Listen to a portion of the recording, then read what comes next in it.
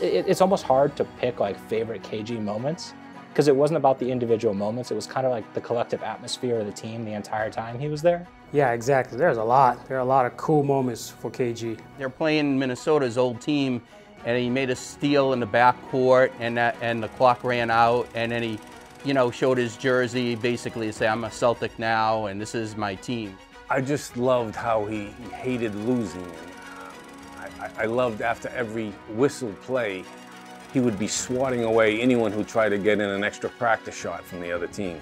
I was there in game six when they beat the Lakers. I got my, my hat from uh, when they beat the Lakers in game six back in 2008. The energy that game, just the, the whole game, it was just on our feet. That was an incredible moment. I mean, obviously, we all, we all remember that anything's possible. Everybody knows that.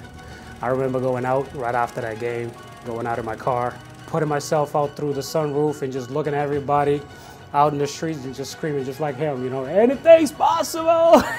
Me and my older brother were at the game and we came down to the to the floor and I was probably only maybe 40, 50 feet from KG when he did anything possible, you know, we were right there to see it. You know, I hate to say it, grown man, it kind of brought tears to my eyes, you know.